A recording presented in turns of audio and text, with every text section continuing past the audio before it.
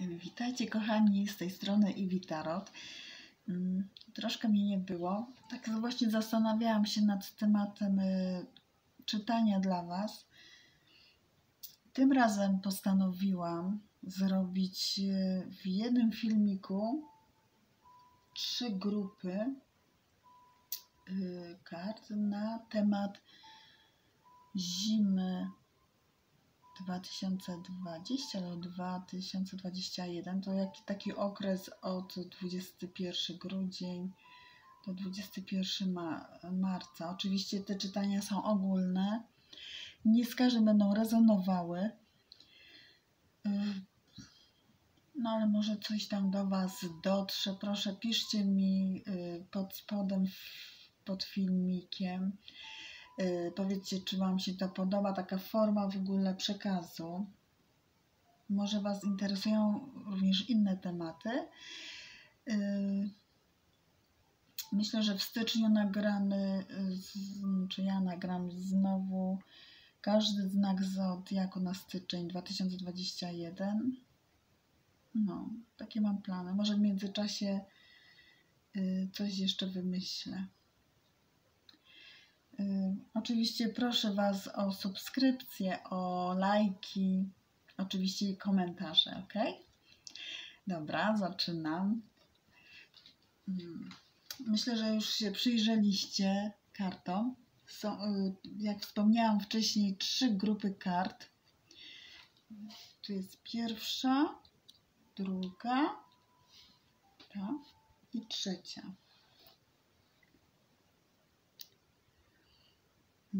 Wykorzystałam do tych, y, do tych y, czytań trzy różne, właściwie więcej nawet y, talii kart, tak żeby było bardziej przejrzyście i by się nie powtarzało może, albo powtarzało. Zobaczymy jak to dalej pójdzie w ogóle, bo pierwszy raz właśnie tak zrobiłam w ten sposób.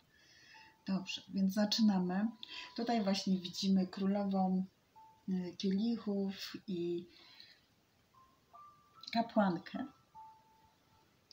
Y, No, królowa kielichów jest. y, To jest osoba, która pomaga innym, jest bardzo uczuciowa, y, uczynna. Mm, Myślę, że możesz być ty tą osobą. Y, Jeżeli chodzi o pracę, możesz być kierownikiem nawet, możesz, y, masz założoną firmę, swoją działalność gospodarczą, y, jakiś swój projekt może realizujesz, może masz taki zamiar, może ten właśnie okres zimy właśnie się przymierzasz do czegoś, tak? Może też tak być. Y, Jeżeli chodzi o, o pomaganie, no to myślę, że y, no teraz jest tak szczególny okres, duży, tak okres, y, no wiadomo, paczki, święta, może ktoś Cię poprosił o pomoc, Ty jesteś osobą, która z chęcią i radością pomagasz. I myślę, że jest wiele osób, które właśnie mogą liczyć na Ciebie. Mm. Jeżeli chodzi o kapłankę, to jest z kolei tajemnicza osoba. Może osoba w królowej, y, w królowej kielichów poszła sobie, ma taką przyjaciółkę. Y, Oczywiście ta osoba w, w kapłance to może być również osoba, która się zajmuje ezoteryką. Może założyłyście razem firmę. To również tak, y, coś takiego może być, tak? Naprawdę jest wiele, wiele możliwości. Y, Myślę, że no właśnie tak mi, tak mi właśnie pasuje, że założyłyście we dwie firmy. Taka historia mi się tu kreuje. Mm, No, wiadomo, obydwie kierujecie się intuicją. Myślę, że ta współpraca wasza, nie wiem, y, jak jakie macie plany, ale myślę, że y, te plany, które ma, masz w głowie w tym momencie królowa kielichów, spełnią się, zrealizują. Tak jakbyś już wiedziała, że one są właśnie teraz na tą chwilę i one wypalą, one dadzą wam pieniądze, satysfakcję, tak?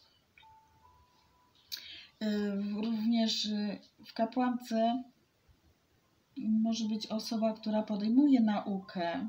To są również wyjazdy, y, no niekoniecznie zawodowe, no ale wiadomo, do rodziny możesz pojechać, tak?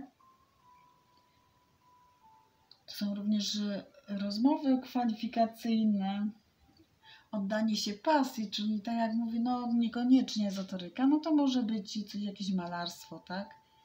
Coś, co lubisz, może, możecie właśnie coś ze sobą stworzyć. No i nie wiem, w jakiej osobie możesz się właśnie y, tutaj zobaczyć, czy w królowej kielichów, czy właśnie w kapłance. Będziesz widzieć na pewno. Jeżeli ta y, osoba wybrała grupę pierwszą, to myślę, że ktoś taki właśnie y, właśnie jest tutaj w tych kartach. Zobaczymy dalej, jakie karty jeszcze tutaj przybędą na dla królowej y, kielichów. Co my tutaj jeszcze... O, wpadła mi... Mm, Wieża. Dobra. Zobaczymy co dalej.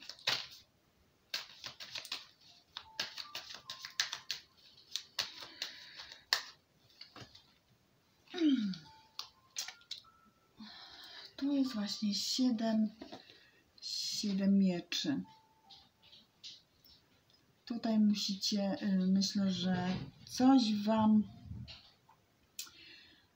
jeżeli chodzi o królową y, właśnie kielichów, tutaj y, coś się zawali, jakieś wcześniejsze plany, może coś runie, na co możesz nie mieć wpływu, albo sama to spowodujesz, czy sam, bo to oczywiście musicie y, obracać energiami, tak?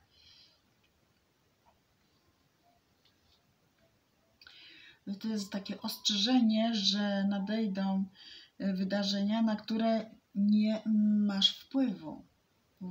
Właśnie wieża jest taka, że coś się zawali nagle, tak? Ale oczywiście możesz to odbudować, tak? No zależy może co innego, może to był jakiś stary pomysł, który nie wypalił i właśnie myślisz o, z tą drugą osobą, y, właśnie o, o czymś innym. Mm. Hmm. Na pewno, y, jeżeli chcesz zmian, żeby ta wieża nie runęła jakby sama z siebie, możesz mieć wpływ właśnie sama, sama spowodować coś, y, coś zakończyć, żeby zacząć coś nowego. Na pewno będzie to kosztowało Ci wiele trudu, ale na, na pewno osiągniesz swój cel. Właśnie kapłanka może Ci pomóc ze swoim sprytem, tak? Właśnie siedem mieczy mówi o sprycie. Więc ja to tak właśnie widzę, że, że mogłaś przyjść yy, do kapłanki, do osoby w tej osobie, Jezus, jak ja mówię, yy, do osoby w kapłance, jakiś, yy, no to będzie osoba skryta, ale jeżeli zdobyłaś jej zaufanie, to na pewno będziesz mogła na nią liczyć, tak? Intuicja Wam pomoże. Myślę, że no tutaj właśnie taką firmę, no cały czas się upieram, bo ciągle to widzę właśnie. Jakbyście y, jakąś właśnie coś ze sobą tworzyły, kombinowały, tak? Coś starego się zawaliło i coś nowego przychodzi, tak? Hmm. Y, tutaj, no dobra. Ta wieża jeszcze mówi o, byś uważał, czy uważała na, na jakieś różne wypadki, tak? Nagłe. Może to być wypadek samochodowy, utrata pracy. Właśnie to są takie nagłe właśnie rzeczy. Włamanie, awantury, cokolwiek. To będzie takie nagle, że rano jest super ładnie, a tu wychodzisz z domu i bum. Teraz jest taki okres, później też właśnie. Tak właśnie przyszło mi do głowy w, w, też w tej siódemce mieczy. Hmm. Hmm. To jest takie wykorzystywanie sytuacji też na własną korzyść. Hmm. Może ktoś w osobie kapłanki miał jakąś pracę inną i postanowiłaś, czy postanowiłaś yy, z drugą osobą założyć firmę, ale w tej poprzedniej mogłaś się nie przyznać, że, że zamierzasz yy, w ogóle więcej do pracy nie przyjść na przykład po nowym roku, tak? Może też tak być. No ty sam wiesz, czy sama wiesz, w jakiej jesteś sytuacji, tak?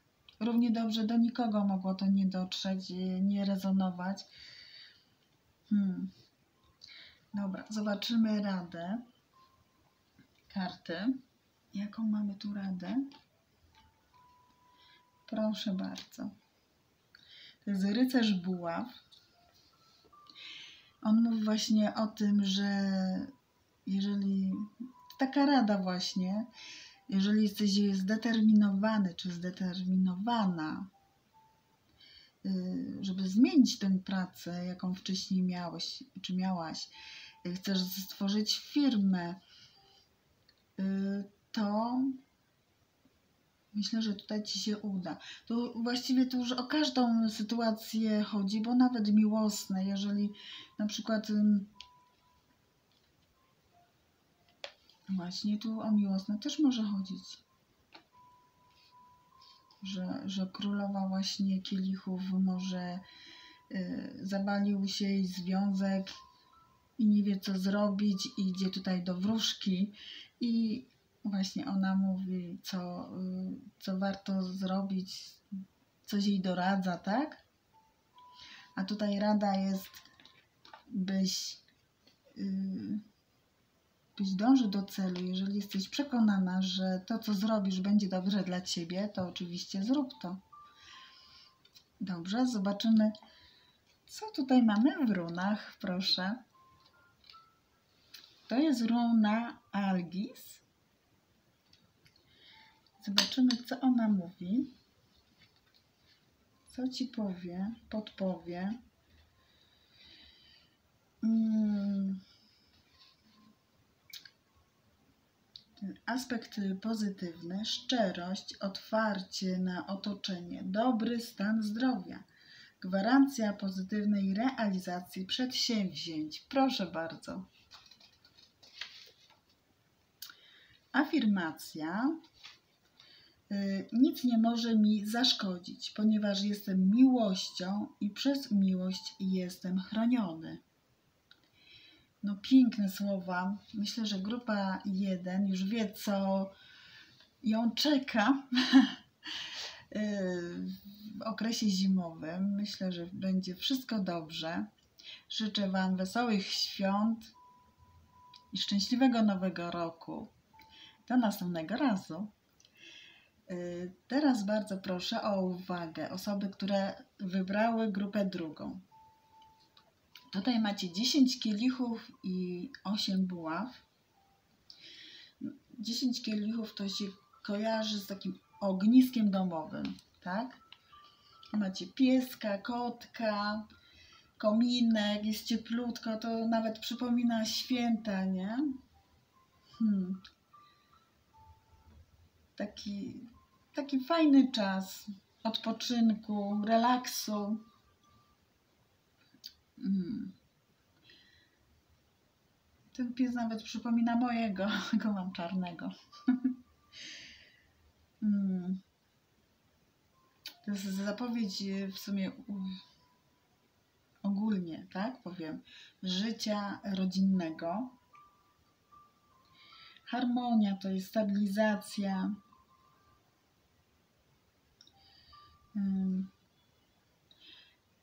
Przyjemne jakieś e, sytuacje rodzinne. No wiadomo, teraz będą święta, y, choinka, prezenty, Boże Narodzenie, y, spotkania w gronie rodzinnym. Naprawdę piękny czas mamy teraz. Tutaj są kontakty, szybkie, szybkie jakieś działania, jakieś spotkania, może rozmawiać rozmowy przez internet, umawianie się, tak? Tak, y, patrząc właśnie ogólnie. Tutaj właśnie ta karta, właśnie yy, dziesiątka kielichów, mówi też, no nie zawsze dobre rzeczy. Mówi o osobie, która może nie być zadowolona, może ją to nudzi właśnie takie życie, że, że lubi jakby rozkazywać, kto co ma robić przed świętami, to jest bardzo częste. Jak trzeba posprzątać dom, wszystko i tu jest, może jesteś osobą dowodzącą. Tak mi się skojarzyło właśnie. Karta mówi, byś nie dowodził, czy nie dowodziła, a pomagała również, pokazała, y, co należy zrobić i takim spokojem y, pokazała, czy pokazał właśnie y, to, że można w spokoju coś y, razem zrobić.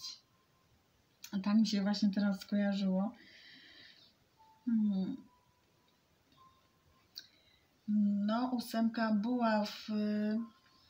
Ona mówi właśnie o różnych wydarzeniach, jednocześnie to jest taki jednoczesny rozwój wypadków. Coś nagle się dzieje,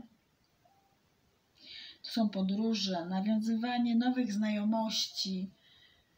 No to wiadomo, no taki okres jest. No nawet y, przecież później, no nie wiadomo co będzie później po nowym roku, no ale hmm, w małym gronie można zawsze się spotkać, tak? Ze znajomymi. Hmm. To jest nagłe działanie, jakiś impuls, jakiś impuls on zadziała. Y, tobą będzie kierował, że zamiast tylko myśleć, będziesz działać nagle. Dobra, zobaczymy o co tutaj chodzi.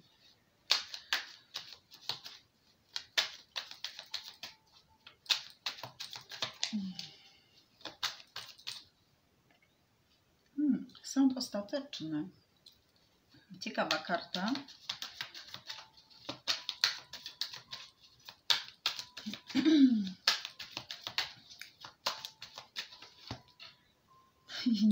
No jak w pierwszej grupie i w drugiej mamy siódemkę mieczy. Proszę. No niesamowite. No ja to widzę w ten sposób. Hmm. No jeżeli... No różne tu są historie. Karta z, sąd ostateczny, ona właśnie mówi byś wejrzał w głąb siebie, tak?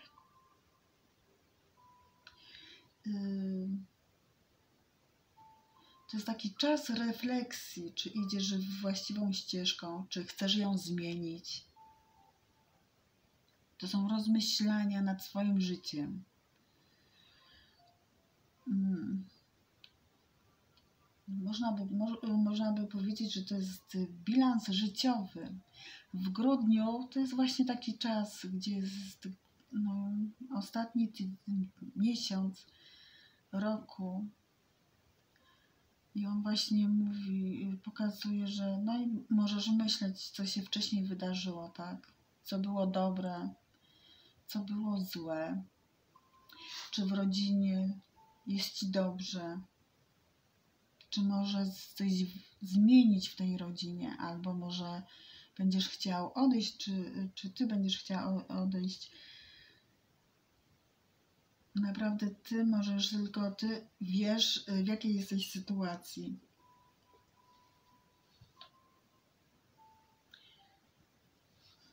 Na pewno to y, karta początku, tak? Na przykład w pracy możesz zmienić y, miejsce zatrudnienia, tak?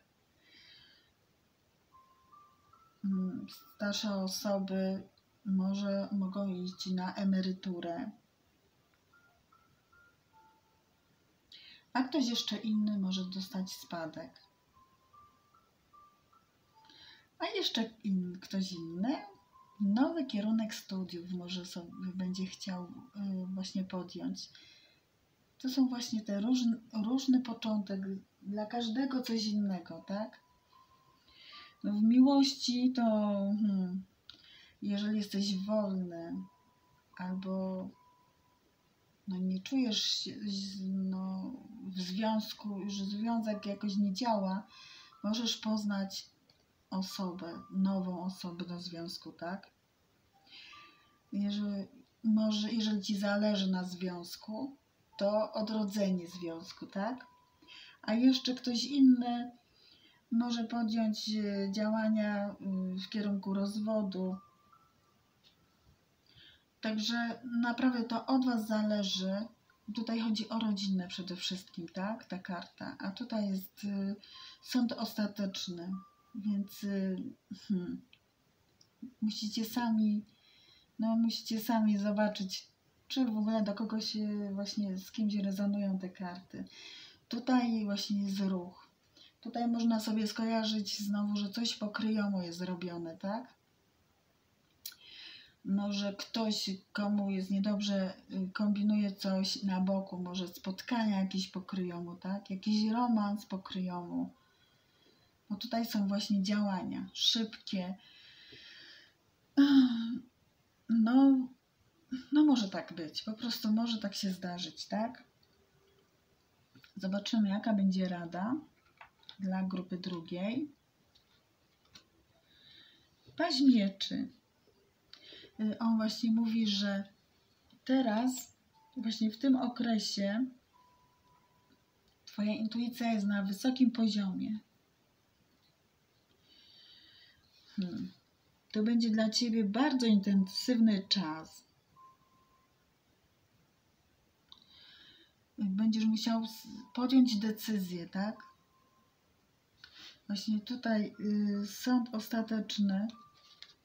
To wszystko właśnie się y, w tych kartach, y, no wszystko razem jest tak spójne, że, że każda z nich do jednego, do jednego zmierza, byś właśnie z, tutaj są no, nagłe no, zmiany w Twoim życiu nadchodzą ewidentnie i myślę, że Ty sam czy sama będziesz wiedziała, o jakie u Ciebie zmiany chodzi, tak?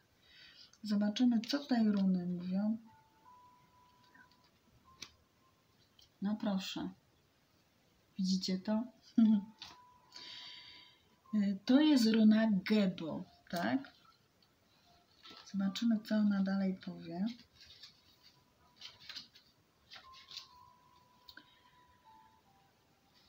Hmm. Sfery to jest równowaga pomiędzy dawaniem i braniem, zdolność ofiarowania miłości i przyjaźni.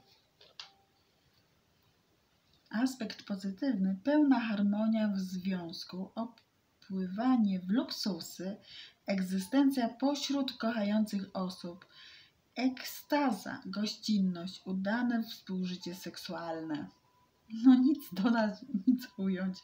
A afirmacja. Wiele otrzymuję od losu i staram się tymi darami dzielić z każdym bliźnim. No to tyle ode mnie. Dwójeczki. Y, myślę, że Wy najlepiej wiecie o co chodzi i w jakich sytuacjach teraz jesteście. Mam nadzieję, że podejmiecie właściwe decyzje dla siebie Oczywiście proszę Was o komentarze, o subskrypcje i o lajki. I oczywiście życzę Wam wszystkiego najlepszego na nowy rok i szczęśliwy, no, szczęśliwego nowego roku i, i oczywiście y, byście czuli szczęście w gronie rodzinnym po, w trakcie świąt Bożego Narodzenia. To tyle ode mnie. Do następnego razu.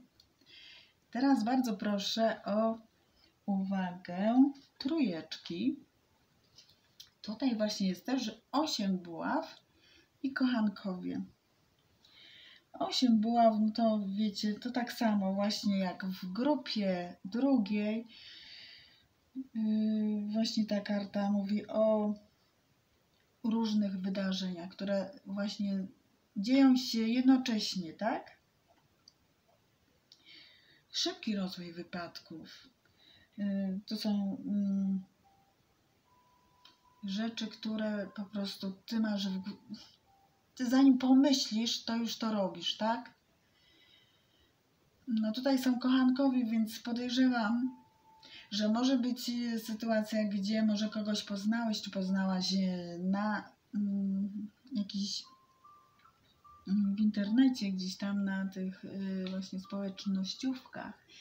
Y, rozmawiacie, chcecie się spotkać, tak? Może jesteś w małżeństwie i no i teraz możliwy trójkąt jest, tak? Ty sam czy sama wiesz, w jakiej jesteś sytuacji. Zawsze będę to mówiła. To jest y, rozkład ogólny, więc nie z każdym będzie rezonował, tak? Hmm.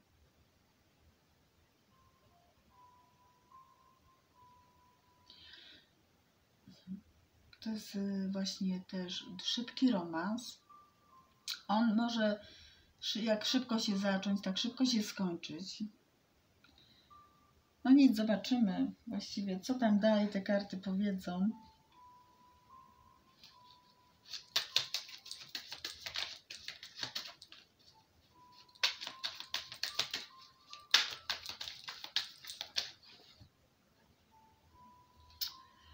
Proszę bardzo, to jest y, rycerz y, mieczy. Zobaczymy, co tutaj przyjdzie do kochanków.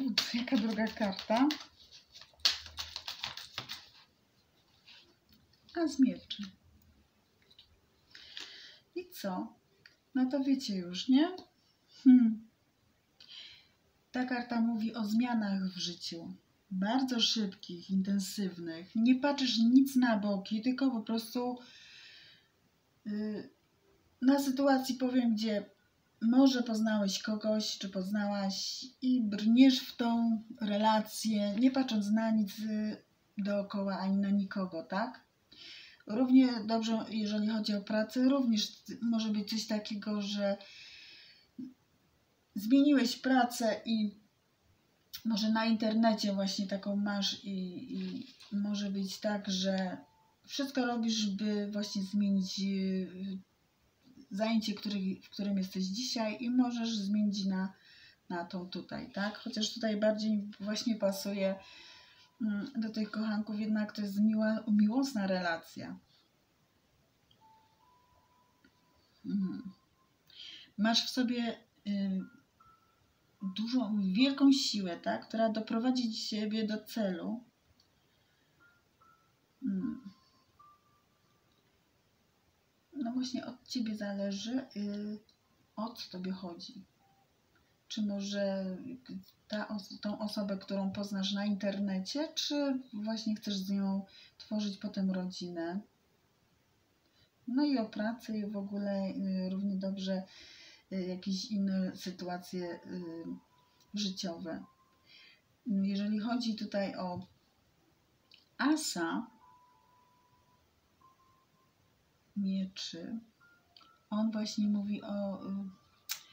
To są myśli, tak? Zimna kalkulacja, taka, wiecie. Y, on, ona mówi właśnie też o nowym etapie w życiu.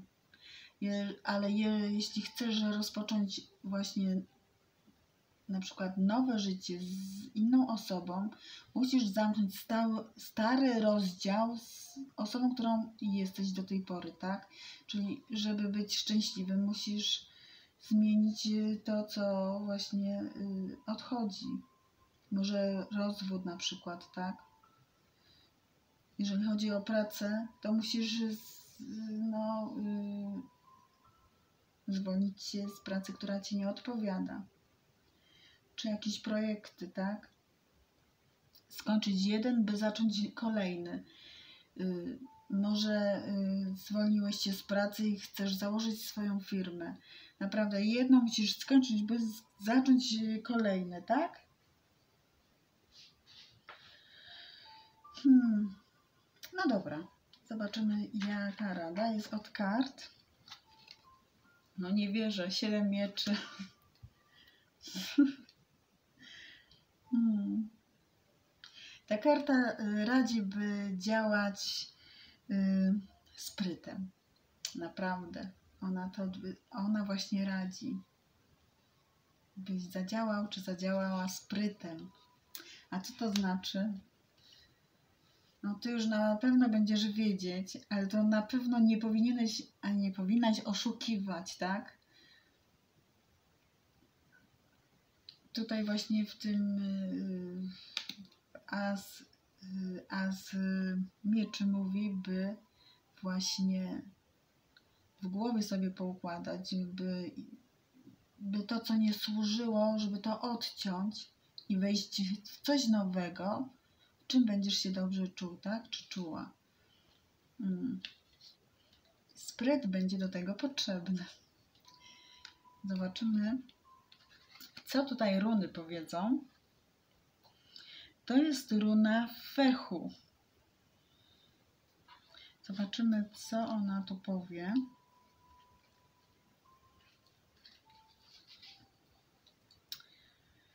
Hmm.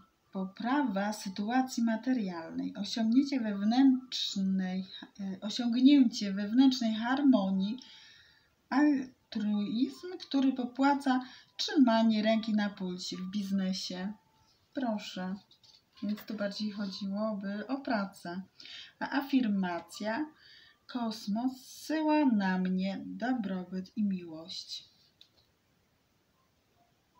Mam nadzieję, że y, podejmiecie słuszne decyzje bez oszukiwania, naprawdę, bo potem to i tak wyjdzie. Wam trójeczki również życzę wszystkiego dobrego z okazji świąt Bożego Narodzenia i szczęśliwego nowego roku Wam życzę.